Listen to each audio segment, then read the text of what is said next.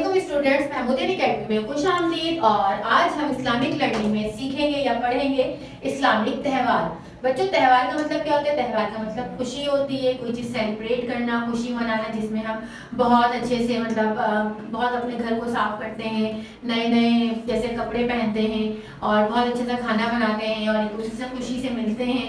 तो वो त्यौहार सेलिब्रेशन होती है। तो आपको पता है ना, इस्लाम के कितने त्यौहार होते हैं? इस्लाम में दो त्यौहार होते हैं साल के।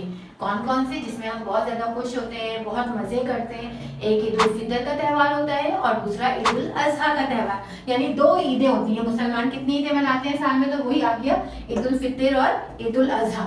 अब ईद उल फितर कब आती है? ईद उल अजहा कब आती है? ईद उल फितर कब हम, कौन सी तारीख को होती है? और ईद उल फितर ईद उल अजहा किस तारीख को थी ये अब हम इसकी आगे की कंटिन्यू क्लास करेंगे। लेकिन आपको बस ये पता होना चाहिए कि दोनों ईदों में हम बहुत खुश होते हैं।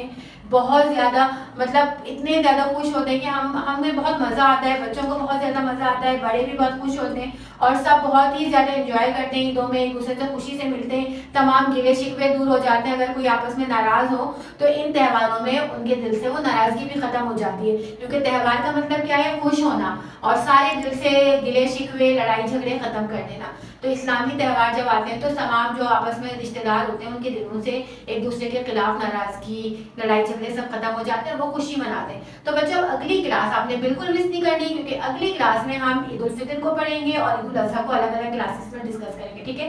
तो बिल्कुल नहीं भूलिएगा अगली क्लास अटेंड करना। जब तक के लिए मुझे इजाज़त दीजिए। अपना बहुत सारा ख्याल रखिएगा, लेकिन आप बिल्कुल नहीं भूलेंगे। वीडियो को लाइक करना शेयर करना चैनल को सब्सक्राइब करना और अपना बहुत सारा ख्याल रखिएगा। इजाज़त दीजिए मुझे। अल्लाह हाफिज़।